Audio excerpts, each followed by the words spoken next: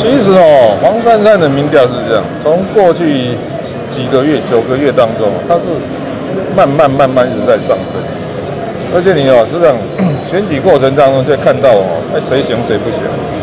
所以你看哦，一开始陈时中也是声势浩大，那现在说几个呃马桶啦，加什么那个七搞八搞太好，再加上周玉蔻，那其实这里就看出他们危机管控能力不好。那倒是讲，蒋万倒是从头到尾都不觉得他存在，奇怪，好像没有这个候选人。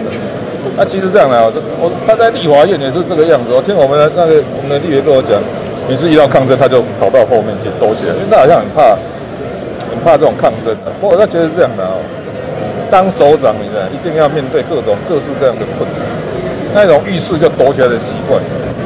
不适合当领袖，这个这个其实我跟你讲，这个是这样哦，在在这个地方讲这个吗？其实台湾哦，真的说支持同意的大概三趴，九十七不是人是维持现状或者维持现状哦，以后再决定。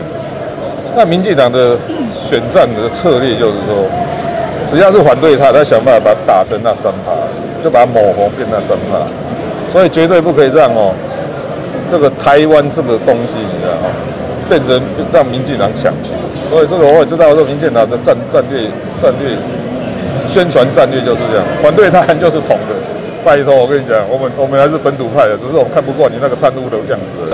这也是民进党一贯选战操练操作嘛，只要反对他的就把他抹红嘛，都变中共同路人，这哪有什么戏啊？连那个高嘉瑜的、王世坚的，甚至慈济都会变成中共同路人。不过这样的哦，这个我倒是有回应。高安的老师在美国是白宫的顾问的，所以难道美国的 CIA、FBI 比你们这些网军还还还差吗？不会吧？有问题人家早就处理掉，还轮到你这些网军来发现？那本来就是这样啊，拿拿钱办事啊，这个 大大家都晓得。我跟你讲哦，裴伟那个录音档出来呢，就两个情形要处理。第一，如果他讲的是真的，哇，这下麻烦了。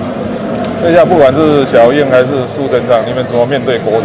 哎，你们真的是手伸进 NCC 啊，去操控媒体。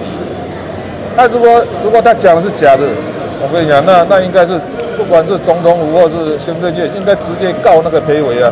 那不然怎么他他他他他这样讲，那你们都一两边。我跟你讲哦，这两个只有一个嘛。那如果 如果到现在为止，总统府都。装鸵鸟，假装没有这件事情，那那应该裴伟那个录音带就是真的。那这个真假那有什么困难？拿去刑事警察局做声纹鉴定，半天就出来了吧？